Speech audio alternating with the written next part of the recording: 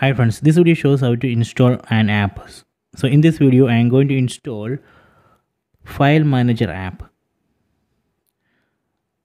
So first we need to open App Store, go to Find. Here we can see the icon of the App Store, open it.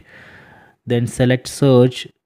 Then there we can type for the app which we want to install. Or we can directly go to find then select search here. Here also we can type. So let me type file manager.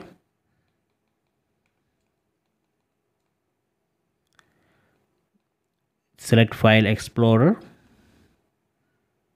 And these are the file manager apps.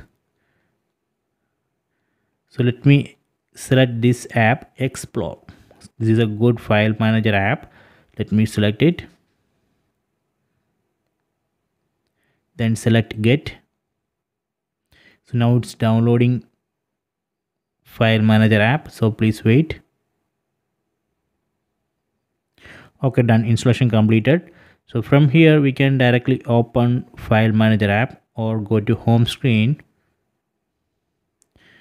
then go to home tab and here under this recently used apps list here we can see the icon of explore. From here we can open or we can go to